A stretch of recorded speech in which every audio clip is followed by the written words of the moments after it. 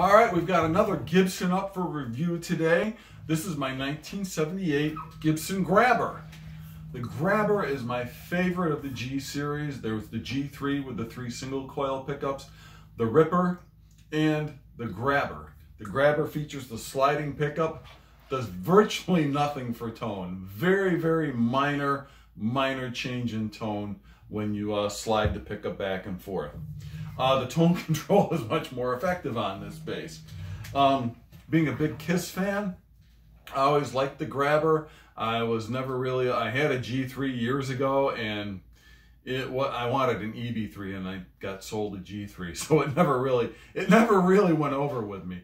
But the fascinating thing about this series is how Gibson did a complete about face from everything they've ever done bass-wise. There was no mahogany. They went to bolt-on necks, full scale, very Fender-like basses in construction and design.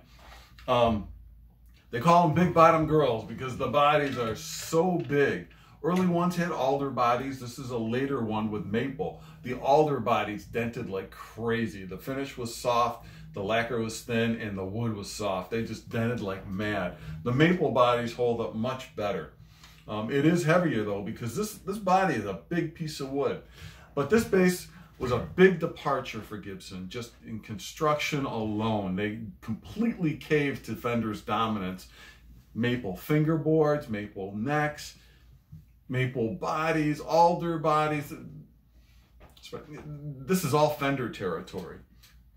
Um, Gene Simmons of Kiss is known for using the Ripper.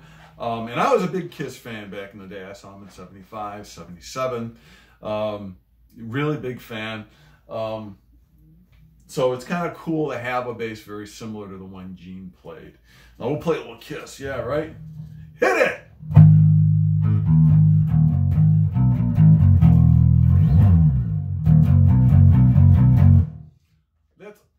Sounds like a precision to me. It's a little gutsier. These are real rock basses, man. You put these through an amp and turn them up and they really, they've got a big, ballsy, raw sound to them.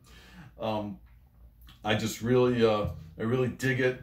I dig the pearl inlays, real mother of pearl dot inlay in there. You can't, there's not a lot of contrast with the maple fingerboard, but they're real lively, very nice pieces.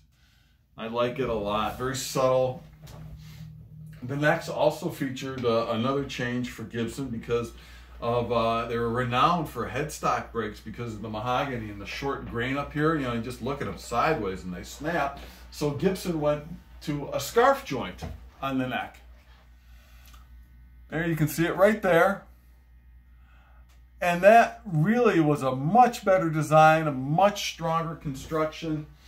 Um, and that was a really wise move on Gibson's part. Um, even though the necks are maple, because they like the pitched headstock uh, for, for greater string uh, tension, they really needed to do that. And it's a very sensible move. It's very strong. And uh, it was it was a good, really good design feature of these basses. Now I'm going to roll the tone back a little and we'll play a little more with it. Ah, there we go. A little scratchy. I haven't had this out in a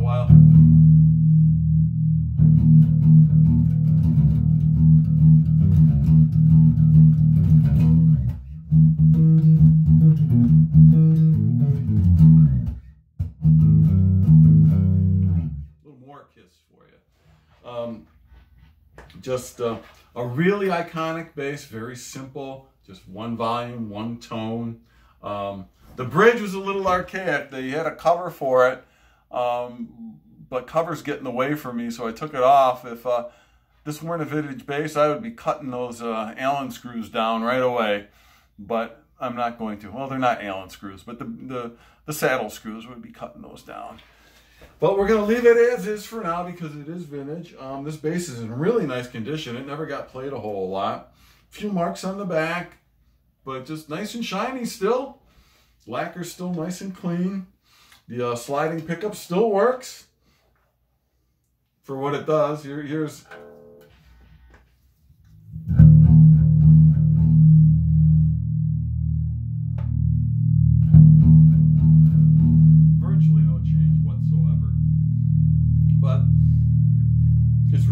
I mean, they must have been smoking a lot of pot when they were thinking about this. That's all I gotta say. But anyhow, here it is, 1978 Gibson Ripper.